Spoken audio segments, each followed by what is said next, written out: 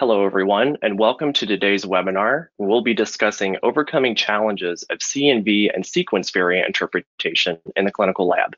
My name is Gary Sheets, and I'll be your host. Let's get started.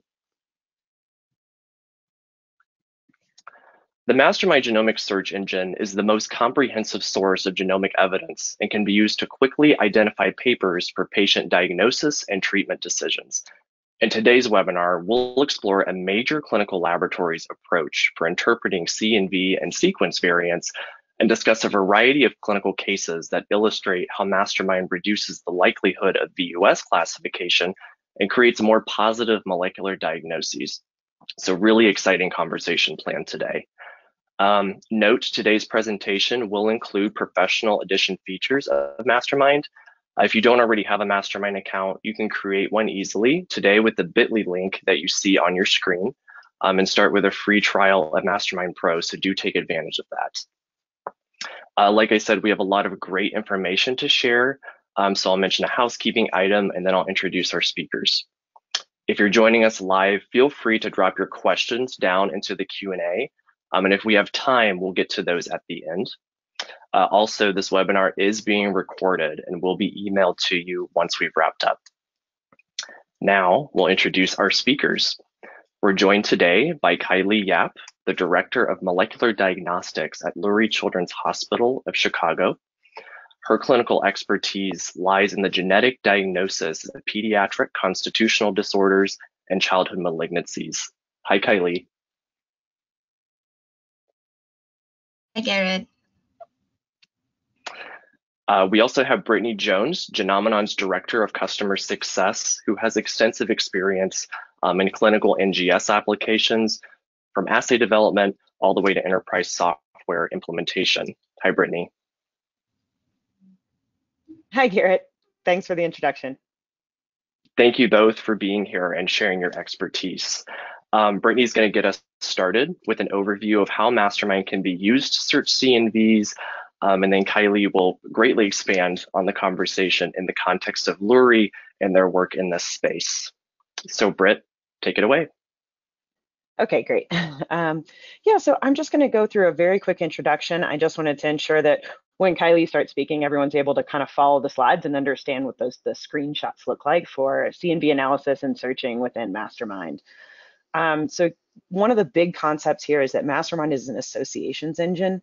So you can search by many different uh, types of information. Not only do we accept, say, variants uh, like uh, SNVs, indels, we also accept uh, copy number variant nomenclature and we'll search those in our system. We can then link those across to different diseases, phenotypes, and other types of information, like is this a functional study that the author is describing? Um, so that's the kind of different information that we link together in our system. For CNV searching specifically, we accept many different types of nomenclature.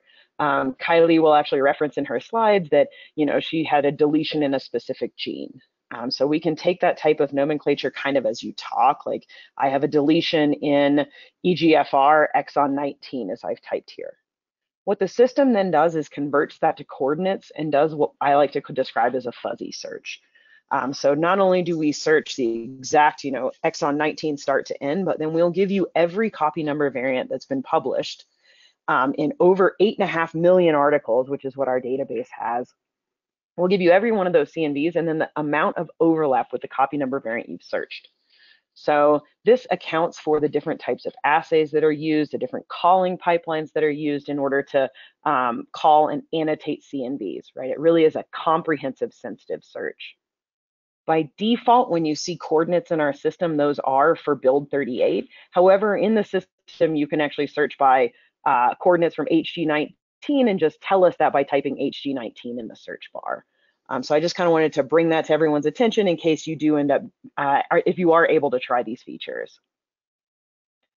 Once you launch that search, what you see is, is several panes in the window that is returned. So I'm kind of highlighting here in the top left, what you'll see is a track-based system. So as I already uh, mentioned, we're not just launching the search for the singular, let's say in this case, exon 19, right, deletion that I searched. We're also showing every copy number variant nearby and the space that it's occupying, as well as the amount of overlap, right? So if there's a search, you can see a couple down in this table here on the, the left. There's another one that's for exon 18 to 21, right? And so we'll give those and then give the amount of overlap for that CNV. Once you do go over to the articles, which is on the right side here, what you'll notice is by clicking on a singular article, that's that light blue bar that you see, you get the sentence fragments for that. So these are actually sentences from the article that we're displaying that contain the matches for the terms that you've searched. So in this case, again, it's EGFR exon 19. And you can really see the power of the genomics language processing engine here in the bottom right, because you can see that we're highlighting, you can see the sentence as it's piecing together this exon 19 deletion in EGFR right? So you can see the variability of how authors describe and, and, and talk about these things, and that we have to match all of that. So that's really the power in the, the genomics language processing engine. We don't just match the exact coordinates for the search, we match how they talk about these types of things in articles. One thing I want to highlight here is there's a little um, target next to the article title right here in the in the in the middle right pane um, that denotes that this is an exact match for what you've searched. Because again, we're doing that sort of what I like to call fuzzy matching, right? Where we're at, where we're allowing for copy number variants to be searched that aren't exactly what you searched for. Um, we denote the ones that are an exact match with this, this target. This will be important because Kai Lee has some uh, some exact matches in, in some of her slides later. We do the exact same thing um, so the target denotes the same thing on the uh, SNV and indel side with things like intronic variants, right? So here some, we searched uh, a change and gave it cDNA nomenclature at the negative two position, right? A to C change there in the search bar. You'll see the target here on the on the right, and then in the sentence fragments, again, you can see that exact match, right? So the negative two A to C. But we also additionally match and I've highlighted this here with the lack of target. um, we also match things that are at the same in the same splice acceptor, but that aren't the exact same change. And this can actually help, this can aid in determining the pathogenicity of a singular variant because you may need to see this other change, right? The negative 2 C to T. There may be more evidence that also is a potentially, that also is potentially disrupting the same splice site. Um, finally, the last thing I just wanted to, to talk about is we actually do have the ability to annotate files. So if you if um, your lab has a workflow whereby you annotate, you have a pipeline that you've designed to annotate uh, this type of information, we can actually take in those files. So in this case, I'm showing VCF format, although we have some other options too. Um, we can take that file and look, go, um, search every single variant within the entire file in Mastermind give you the number, that's what I've highlighted down here, the number of articles that match that variant, as well as a link to those articles within our system, and then provide that file back as the return. Um, so this is a way in which you can build it into pipelines because Kai Lee is going to describe the Lurie pipeline that they've worked on. Um, with that, I think I will leave it to Kai Lee. I think that gives you a little bit of an overview of what you're going to be seeing in some of her slides, and then I'll let her get, get us to the science.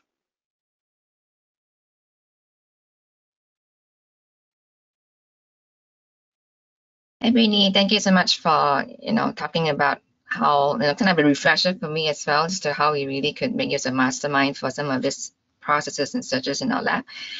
Um, I'm gonna start sharing my slides. Let's make sure that it is the right screen. Okay.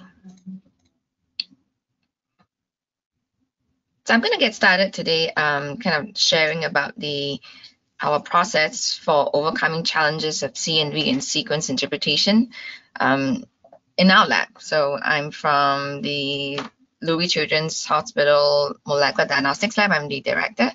So today, kind of going through a couple of things that um, you know we have encountered in the lab and how we have essentially tried to overcome them with certain processes that we have um, adopted. So kind of a short introduction of um, who we are. So as part of the Lurie Molecular Diagnostics Lab, we specialize in genetic testing for pediatric germline disorders and somatic malignancies. There are a few different diagnostic methodologies that we use in the lab. One of the, our largest volume tests is a whole, whole genome chromosome microarray, and that we accomplish by doing an array CGH Um, we have sequence and deletion duplication analysis of gene panels, and that we do with um, NGS. We have targeted CNV analysis that we we do by MLPA, and also smaller specific targeted variant analysis or single gene analysis that we would do by Sanger sequencing.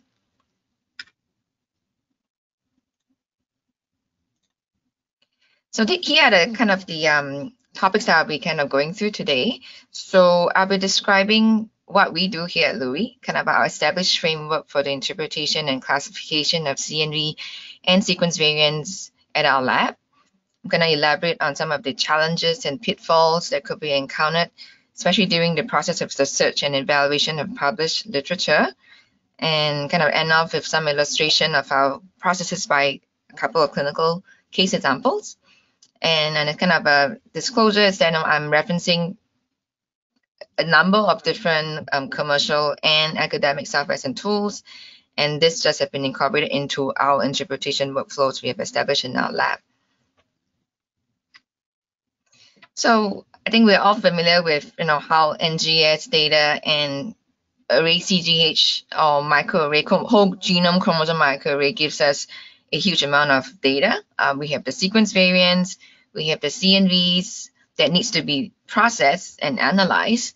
So what we have adopted in our laboratory is to have our NGS sequence variants pass through to Fabric Genomics. Um, this is our tertiary analysis software for variant classification and interpretation.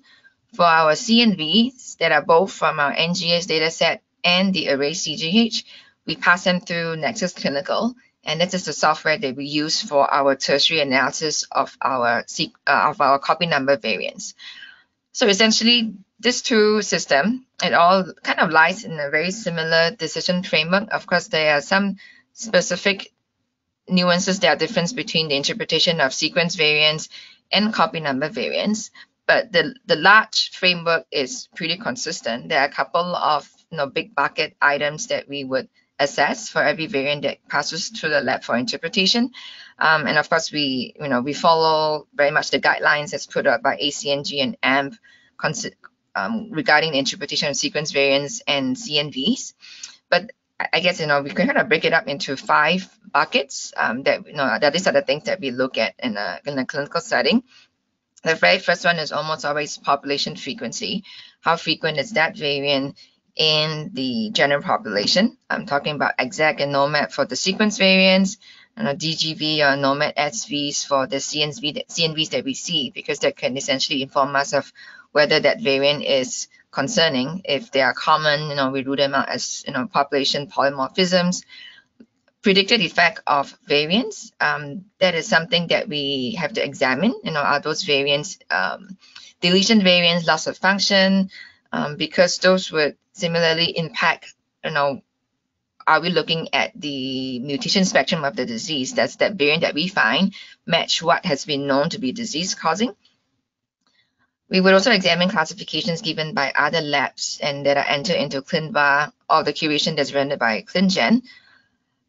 We will look at potential inheritance of those variants um, within the family so those are usually accomplished by additional testing, um, either, either through the parents or other potentially affected family members. Um, but one key information that we have to rely on is in reviewing the literature, um, how much literature support is there for supporting that this variant or gene has an association with human disease. So this whole process of you know literature support for looking at pediatric germline disorders, I would say that for rare genetic conditions, the discovery of you know, one singular publication can can greatly impact the classification of a variant.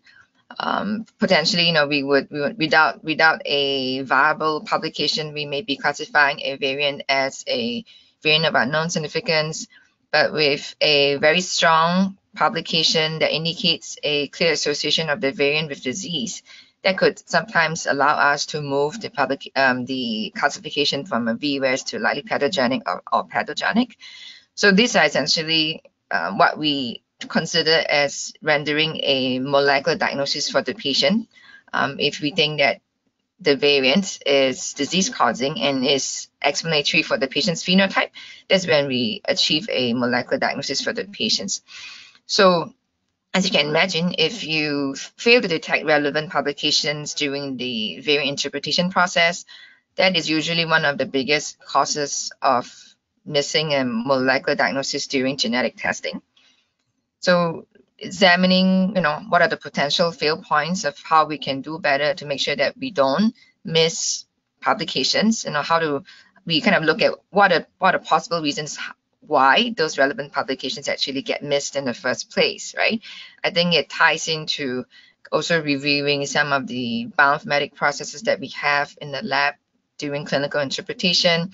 A couple of things that I'm going to bring up is, you know, really looking at our pipeline when we examine the literature that goes that is that might be associated with the variants that we are seeing in a specific case. A lot of labs would be using curated literature database. Um, and because it is a clinical pipeline, we validate, we lock them down once they're validated. Those, those, those pipelines and databases are not always like real-time um, updated because this is not, not possible to do. Um, so the databases that use, use could be validated, you know, from a few months back. Although most labs have a schedule of updating their internal databases to make sure that it's up to date, but it's never going to be up to date at current status, right? You're still going to have a few um, months or weeks of lag, depending on how frequent the update process is for the internal databases. And sometimes it's just that you've done your job, you've updated your databases, but then the publication just is missing from the curated database, just didn't didn't make it to the curation. Um, so there's nothing you can do in your pipeline that would remedy that. And occasionally, you know, when we search for variants, um, when we're looking for relevant publications for the variants, it's just really hard to make sure that we don't miss a variant because of an error in entering the nomenclature during search, um, or maybe because some publications have named the genes a slightly different way, named the variants a slightly different way. Um, and that is, I think, especially pertinent for variants like copy number um, variants, because for those variants, you know, the breakpoints tend to be a lot more variable in terms of softwares, and we don't have such a good way of ensuring that we have the right nomenclature, uh, unlike the sequence variants that, you know, most labs will follow HGVS. So these are the methods that you know we think that we could use for assessing gene variant literature for our clinical interpretation. So this is definitely something that the clinical lab, a lot of labs have kind of you know kind of put together a framework. This is what we have kind of assessed. Um, so talking about you know curated literature database um, that describes gene variants and disease association, a lot of clinical labs you know would refer to HGMD, and this is also what internally we have done we have annotations brought in for every single variant that we see during the bioinformatics pipeline to, to cross-check to make sure that are there any HGMD annotations on that specific variant. So that's done for every single variant. Um, but this is not done for our copy number analysis because it's just hard to match CNV breakpoints with a curated database like HGMD. So this is not done for our CNV interpretation the next thing we do is to rely on search engines. Know, if the curated databases don't pull a relevant annotation, we reflect to a search engine, and that you know really could be a pretty big variety. You know, you could PubMed, you could Google, um, and what we have kind of landed on in our lab is to use uh, Mastermind to kind of aid in this comprehensive search for genetic variants and its association with human disease. And the last thing that, you know, really, if you don't find anything, you try to gather unpublished data. And you could either do that through private correspondence if you have relationship with a researcher that is known to be an expert in a certain disease. It may have a knowledge of a specific variant. Um, you could gather information from that. Uh, on a larger perspective, kind of a crowdsourcing way is, you know, there's a NCBI supported website, GeneMatcher, where you could then input that information in there to see if there are any hits that other labs have sub submitted with a similar variant that will be relevant to your interpretation of the of the case. So what we have done in, in a Lurie Molecular Diagnostics Lab is our lead search, lead search process obviously, like we acknowledge, is a, is a very important process in clinical interpretation and variant classification. So we've kind of reviewed our process to see, you know, how we can do better because obviously we know that literature, missing literature review is really a key key source of missing diagnosis for um, or making making significant classifications for the clinical variants that we see in the lab every day. So our goal was to establish an efficient process for clinical testing um, with a high yield for the review process such that you know it's efficient, but yet we would get to the point of looking at relevant publications in a very short amount of time. So like I mentioned, we have our pipeline variant annotations with our bioinformatics processes to really pull in the information from a curated database like HGMD. But like I mentioned, it's a static database. So we pull that from HGMD and we validate that. And so on a daily basis, every single variant has a cross check on does that variant have an annotation in HGMD.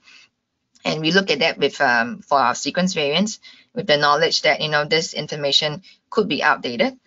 Um, we have a variant review process that is a live search on HGMD professional. Um, just because we know that you know whatever was annotated could be outdated by the time it gets to a review process. So this live live search process, you know, we look at it from for both the sequence variants and the CNVs, but this is reliant on the curated database being updated at the point of search. Um, one new thing that we started doing when when we um, onboarded the usage of Fabric and Mastermind was that in the Fabric Genomics, there is a Mastermind button in Fabric for every single variant that we see to indicate and alert us there's availability of a Mastermind information in the database. Um, so we are able to see that. And so that's another kind of um, area that we would cross-check to make sure that we're not missing any potential publications that are out there for this variance.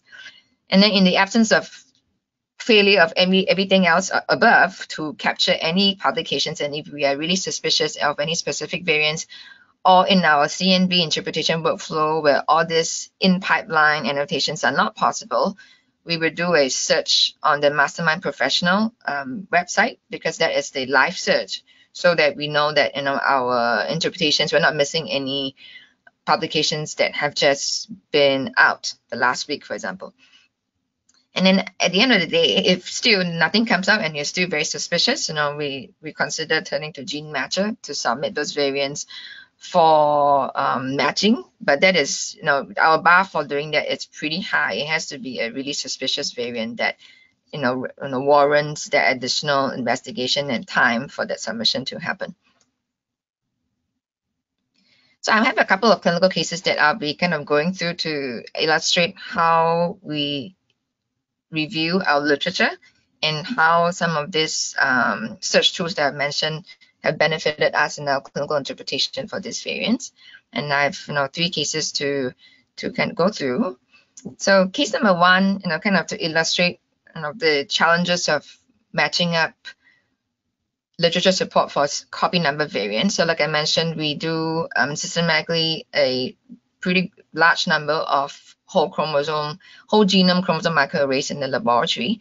So we encounter a lot of instances where you know we have to be able to decipher is there a relevant publication for a specific copy number variant that we see within a pretty short amount of time. So in this case over here, um, we have a four-year male with global developmental delay and breath holding episodes. So know, not exactly very specific phenotypes, but um, we did detect a 3 megabase loss at 18Q12, Q1 um, Q12.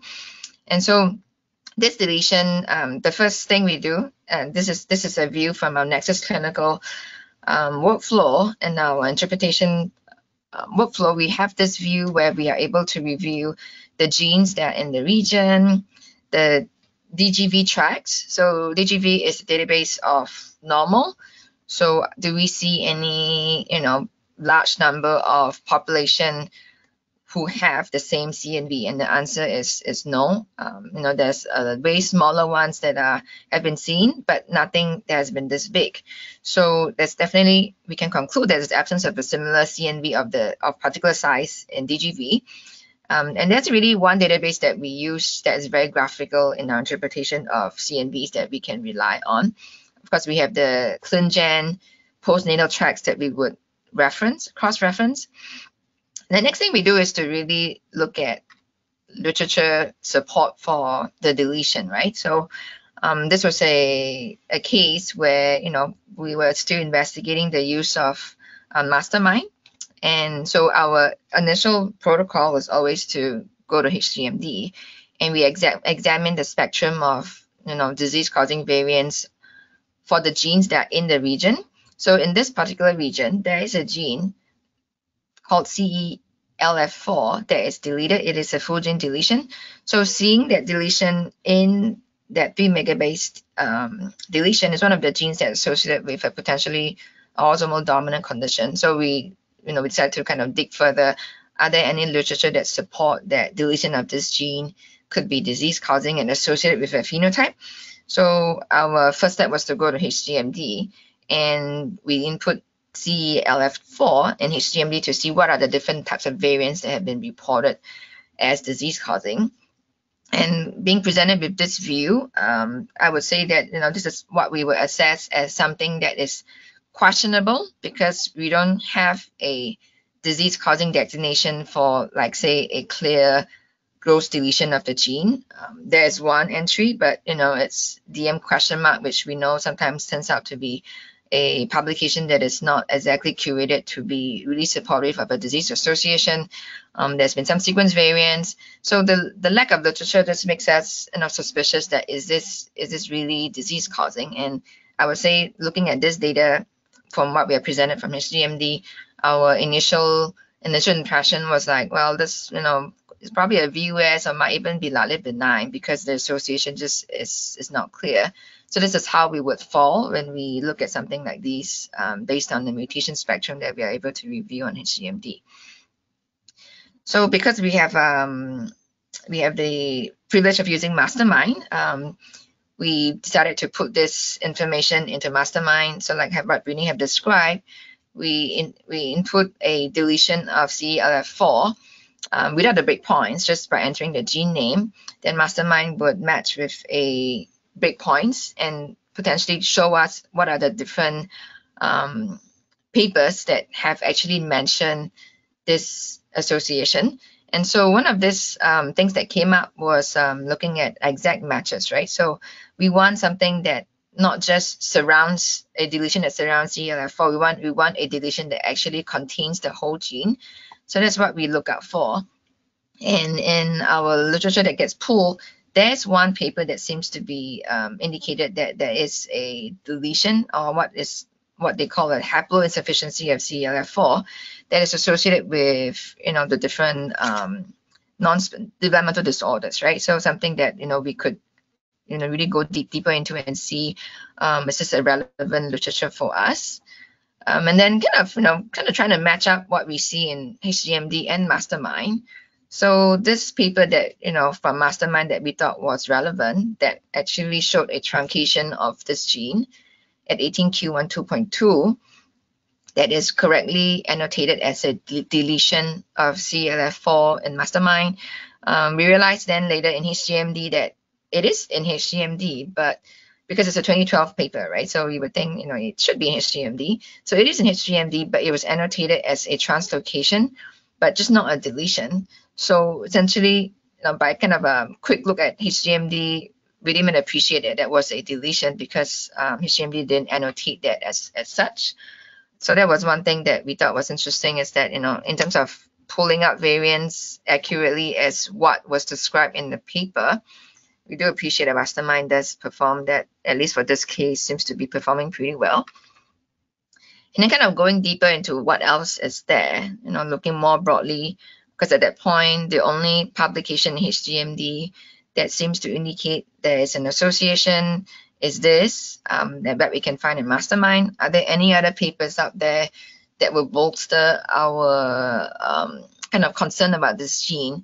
And so we found additional papers that um, provided support that CELF4 deletions are concerning, and that you know there's been a number of papers that have talked about how deletions in 18q12 that encompass CELF4 as a candidate gene is could be disease causing that is associated with a developmental disorder. So that you know brings us additional paper. This paper was published in 2017. Um, so interestingly, this paper was not in HGMD, which you know just just didn't let us uh, review that. So so it was great that you know we were able to isolate additional papers with the use of mastermind to support that you know this gene could be really truly associated with disease. So kind of you know I think it kind of recalibrated about what we what we think is what we should be reporting for the CNV.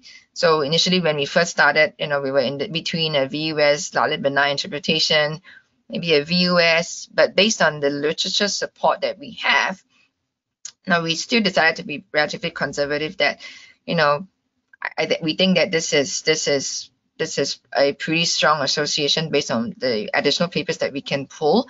There's a reasonable suspicion. Um, so we recommended that parental testing is strongly considered. We don't always do that for CNVs, like VUS CNVs, because a lot of times we assume that they would be inherited and not disease causing. But for this case, we had a reasonable suspicion to think that this is, you know, going to turn out to be disease causing. And we rec strongly recommend that parental testing is done because this gene is associated with the autosomal dominant condition. So the report went out as a VUS and with a strong recommendation for parental testing. And ultimately, when we have the parents come back in for testing for this specific variant, the deletion was found to be de novo. So essentially kind of cementing the idea that this CNV is the most likely cause of the patient's phenotype. So then we recalibrate our interpretation of this variant that this is, you know, this is disease causing because of the literature support that it is, plus the fact that it is, it is de novo. So that's my first case. And then the second case kind of, um, you know, touches on kind of a slightly different challenge that we have. Like, you know, how do we catch new publications in a timely fashion? Um, and sometimes you just find that things just collide in such a way that the timing, a, difference of weeks and, and, you know, in the lab can really make a difference as to, you know, whether you're able to adequately call variants the way that they, you know, accurately according to the literature support. So in this case, we have a, a two-year-old female with Evans syndrome, anemia, thrombocytopenia, Kawasaki disease. So this is one of the one of the patients that typically may receive um, a primary immunodeficiency NGS panel in our lab. So in this panel that we we performed, we have um, 328 genes. There were 19 variants that were isolated for additional analyses, that were at least a VUS classification that is additional review. So that's a you know, pretty large number of variants because of the size of the gene panel. Um, and one of the genes that kind of you know we were reviewing and the, the point I was trying to bring up about this variant um, is that during preliminary review there was really a lack of literature support for this variant. Um, at that time, you know, we we look at it, you know, we we knew that this is probably at least going to be a VUS. In our regular pipeline for looking at HGMD annotations, for this case, it did not pull any relevant publications. So this is this will be one of the cases where this is probably going to be be a VUS, we, and we kind of move on from that. Um, except, you know, there was a splicing prediction that was relatively suspicious on the last, it was a base change in the last base of the exon intron boundary that, you know, instantly, you know, makes this variant relatively suspicious. Um, the, you know, because, because of that, we think that it, it disrupts the canonical splice site. But to be able to then say that this could be disease causing, we really need literature support that either says that this, this variant has been reported as associated with disease or this, you know, essentially a similar variant of this nature, right, that causes a canonical splice change is going to be associated with disease. So we kind of, you know, went into looking because HGMD initially didn't have anything, um, we went into Mastermind to see what we can pull up. Um, and we did see a paper from 2019 that described how a CTLA4 splice variant could be associated with a monogenic um, immunodeficiency disorder, which was kind of interesting. And then, you know, what we kind of look back on so essentially going back to our HGMD and to kind of really review because our whole process of variant interpretation in the lab was to see, you know, when we catch something that could have been missed, like, like well, how, how can we do better to make sure that we don't miss this in the future? So really reviewing the HGMD entries that were that were about this variant. Um, so the interesting case is that it, you know, the timeline actually really matters for this case. So when this when this case came through in the lab, and which I'll present the timeline later on. Um, the HGMD annotations that I referred to for the static database, this publication um, apparently had not made it into that version yet because our pipelines were annotating on annotating on this version of um, HGMD, which was the 2021 quarter three update.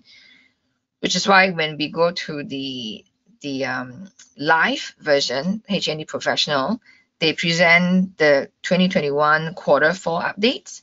And that version does have the publication, although a different publication that was previously presented by, by Mastermind. So that that version of HGMD does have the um, a relevant publication for this specific variant that we're looking at but then it was still missing the previous paper that we had pulled up from 2019 from Mastermind. So kind of an illustration of what exactly I'm talking about, right? So we have this case that came into us for testing December of 2021 that arrived in the lab. We annotated, we processed the sample uh, bioinformatics pipeline, annotated on the HGMD version 2021 quarter three update.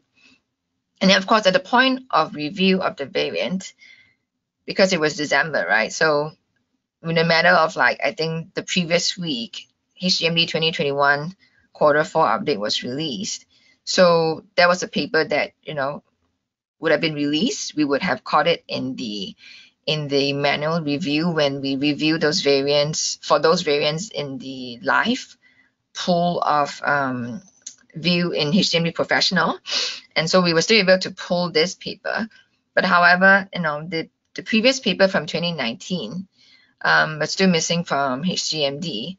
So overall, you know, looking at this this effect of you know assessing, you know, like you know, while we could have missed this variant if if not for the fact that you know we were of course alerted by mastermind and then get us to review what was in HGMD and then really found like two papers that were defining that this particular variant is disease causing. And you know, you may ask, what is the what is the big deal of missing one paper, right? You have two, you missed one, shouldn't be a big problem.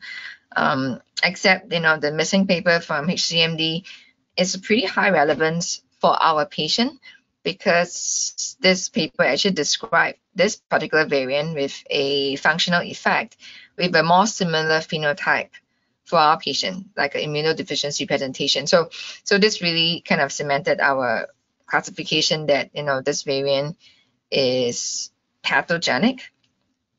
And then you can kind of see as to how we went from, because of the lack of literature support for this variant in the initial stage of review, due to the you know the timeline effect of not having that literature support really getting pulled in during the pipeline, thinking that it is the VUS, but then ultimately being able to reclassify this as pathogenic because of the availability of pulling this relevant literature support to say that this, this variant is actually disease causing for this patient. And it is because CTLA4 is associated with an autosomal dominant condition um, that is related to, to um, autoimmune autoimmunity and immunodeficiency, which is very relevant for this patient. So kind of in my in my last um, case, just to quickly go through some of the um, processes that we we do, and also what I've described is our CNV analysis, and now from a microarray, we have the um, panel testing that we do. Um, the previous case was about panel testing. Um, we do review some exomes and genome data sets in our lab. And so we have a, and I think that really being able to pull literature support for this large scale genomic testing is, is even of a higher priority because of the huge number of variants that could be seen. So we have this case um, of a 13 year old male of Pakistani descent, and he has a very complex medical history. But overall, it seems like he was dealing with a lot of GI obstruction issues. Um, he had sort of a dysautonomia, some neurogenic bladder, orthostatic hypotension. Um, he has a pretty strong family history of parental consanguinity. His parents and grandparents are first cousins, so that's, that does elevate the suspicion for a genetic condition. So the clinical genetics team had sent a whole exome to a reference lab that was reported as um, non-diagnostic, and that was resulted in November of 2020.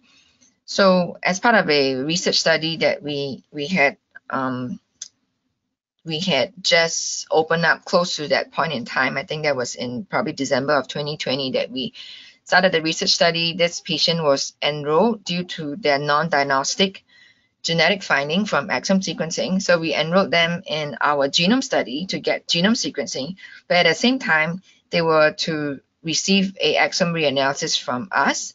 And at that point, we did isolate this CHRNA3 two base pair homozygous loss of function variant in this gene.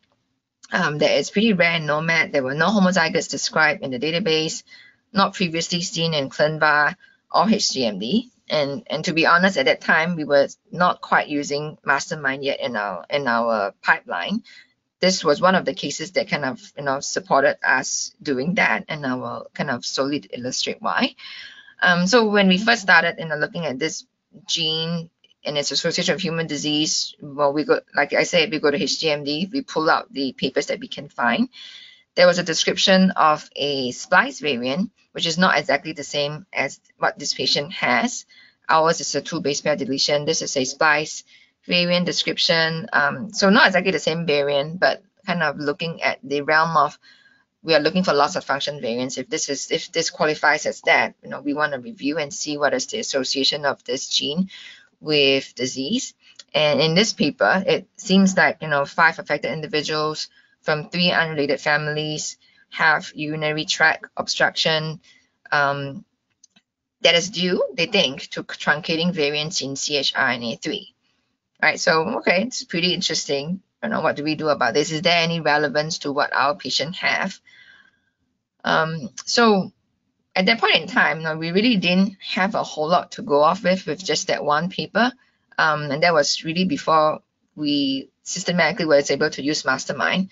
So at that time, we had submitted this variant to GeneMatcher, this variant, this particular variant with the gene to GeneMatcher. And one of the reasons to support us doing that was also there was a mouse knockout model that supports like there's a bladder phenotype with patients, um, sorry, in mice with deletions in CHRNA3. So we thought it was maybe strong enough for us to go through this this um, process of doing um, GeneMatcher submission and sort of illustrating this last point where, you know, if you really have no literature support, um, you go to GeneMatcher, you submit it and see what comes back.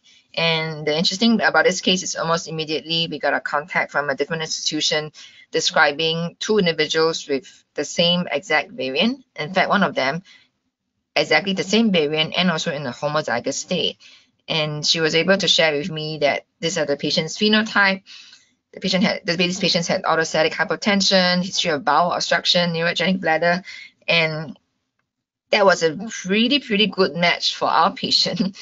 And at that point, you know, there was some suspicion are we talking about the same patient? Because we had one patient who had the exactly same variant, homozygous, same two base deletion, but we verified that you know her patient was different from mine, but they have a pretty similar phenotype. And, you know, and like I said, in the realm of a rare pediatric disorder, if you have data like that, that almost very strongly supports that this is a disease causing variant for the patient because, you know, the chance of, of um, two different patients having the same exact variant and showing the same phenotype is just a very low likelihood unless that gene and variant is truly disease causing.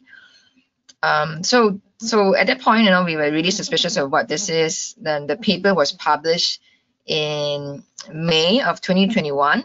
And at that point, when we contacted them, it was it, was March 2021. So this paper was really not published yet. So through this, you know, process of reanalysis, we were able to, you know, have the clinical team that we reanalyzed and, you know, isolated this variant that has emerging evidence to establish loss of function as a mechanism of disease for this gene, and that we think that this is disease causing for this patient, of course, due to private correspondence with somebody else who had a patient with a similar phenotype and a similar variant, right? So, but the publications were not out yet. But this was, you know, what we were, you know, very comfortable with, you know, rendering this final classification, but really kind of again illustrating that data, either published literature data or unpublished, is really key for the diagnosis of some of these um, rare pediatric disorders.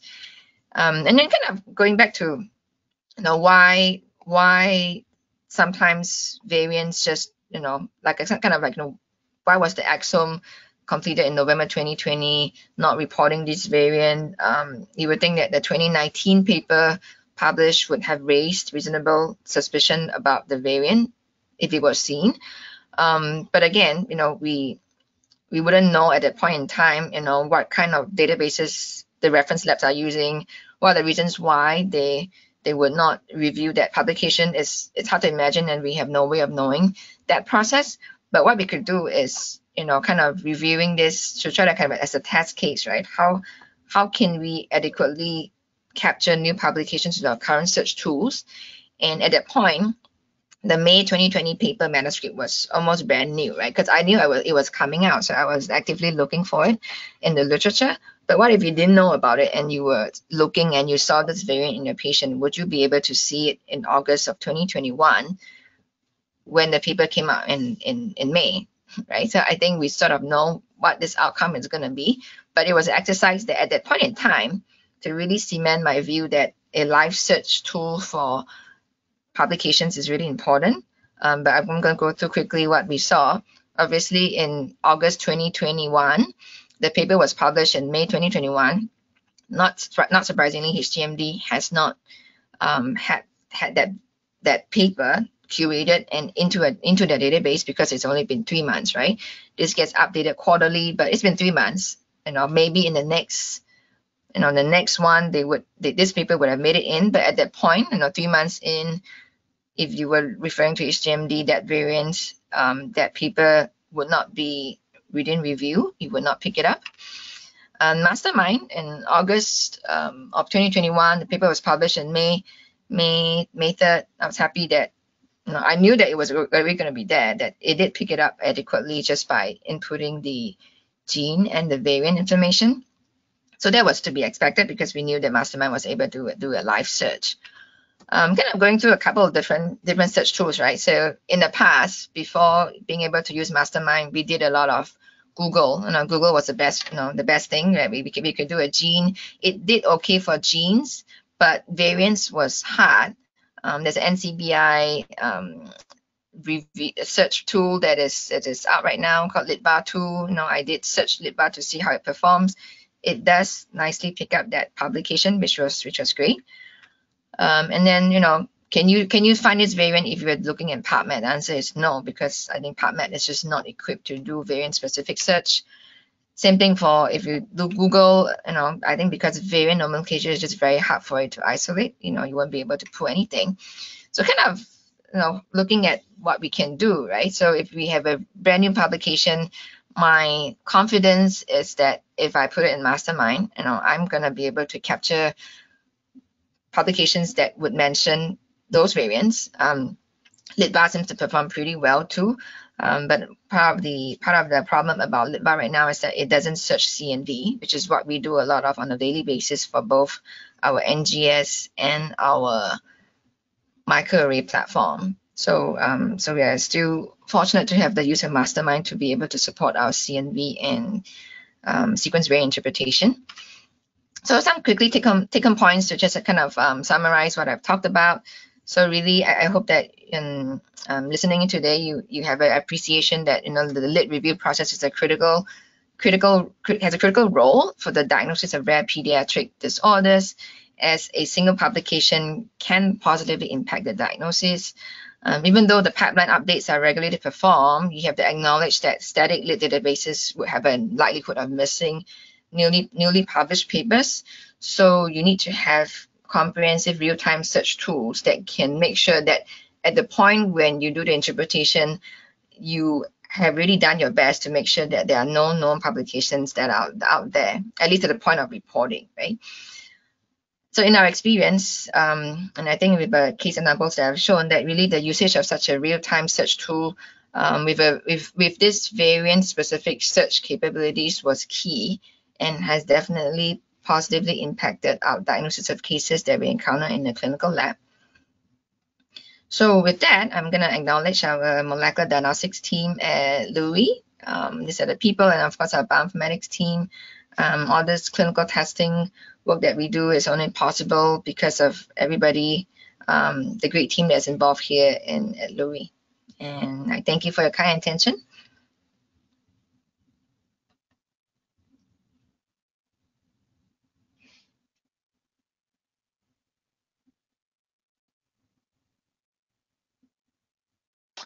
Thank you, Kai Lee. Outstanding um, information.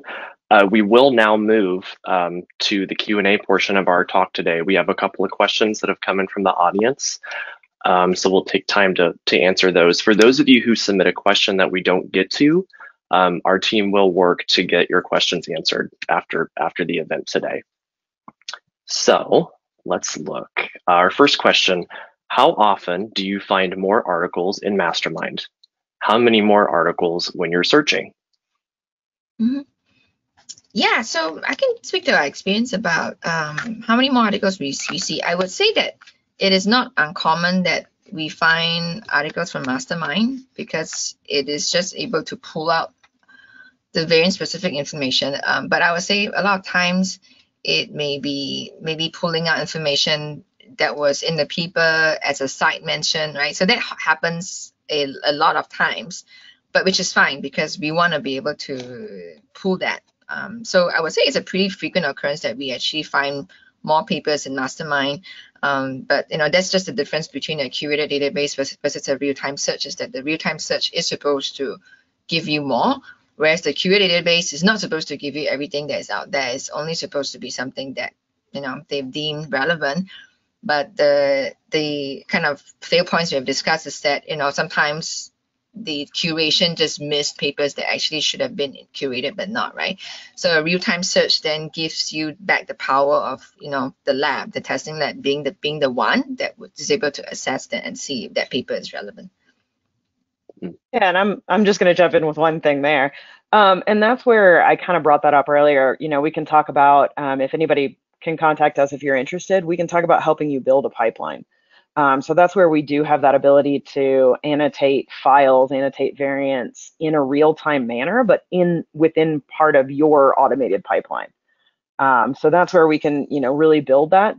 In that way, we could actually, you know, it can kind of take a more mastermind first approach, seeing if there are if there are publications and and Kai Lee in your example it's great right like if you annotate then with HGMD and our our software you'd be able to see those numbers side by side right I have nothing here I have you know, one article about that intronic variant or that splice uh, disruption variant in Mastermind, you know, now I can click there and see what that link is like.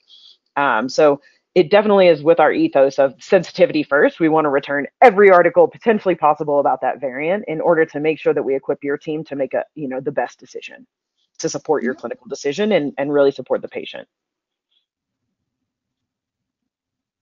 Nice. Thank you both. I think we, given the time, I think we have time for one more question. Um, so uh, how do you choose your targeted CNVs for MLPA? Are those identified by NGS and then MLPA is used for confirmation? Yeah, so we, we do our MLPA as a targeted um, CNV test testing algorithm more for like um, follow-up testing, right? So if we if we have a proband that is identified to have a CNV, the parents will get MLPA. Um, same thing, sometimes we use MLPA as a sort of a confirmation test for NGS CNV calls that are a bit less robust than in the microarrays. So we, we use it both as a follow-up for both our CNV, sorry, for our microarrays and our NGS CNV calls.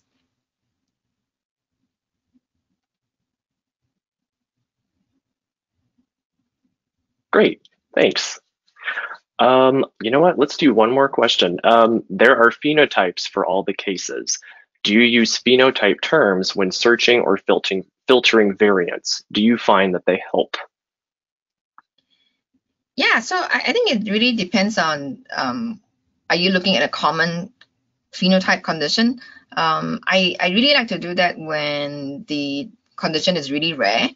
I would, you know, I would put in, you know, if I'm really overwhelmed, right? So if, if I'm looking at a disease and a gene that is that has a lot of information already out there and I'm overwhelmed, then I like to use the phenotype term to kind of really trim it down to only show me the you know, phenotype is immunodeficiency and not everything else that's out there. So I, I do use that sometimes, but when I'm trying to be very broad, you know, I don't do the phenotype because I want to be on encompassing, want to see everything is out there in the gene. But usually the phenotype is the is kind of the next stage to clean up what um, we would see in such. Yeah, I think that's the the best workflow and the one that we actually recommend, which is you know sensitivity first. Try your variant or CNV or whatever it is you're searching, and then from there add those phenotype terms. Um, that's part of what we talk about when we say associations. That's one of the others. Um, so you can enter those as a as a filter to specify your search more um, and really hone down on what it is you're looking for and and be able to read all of that information then in the sentence fragments. Um, so you can really then see your phenotype term in conjunction with your gene variant or copy number variant or whatever it is you're searching. Yeah. Awesome. Thank you both. Well, we're almost to time here. I want to give you both the opportunity to, if you have any closing remarks for our, our outstanding discussion today. Uh, for me, I just want to thank Kai Lee. Thank you so much for putting these slides together for us and really going through a CNV analysis. I know that copy number variant uh, analysis is incredibly difficult, so I think this was really uh, helpful to some of our other customers. Um, and I love that you gave the example of trying to find that article within Mastermind. Um, and if anybody ever does find one that they want to submit to us, we also have that as part of our process. So um, email us at support at genomenon.com if you have any any questions.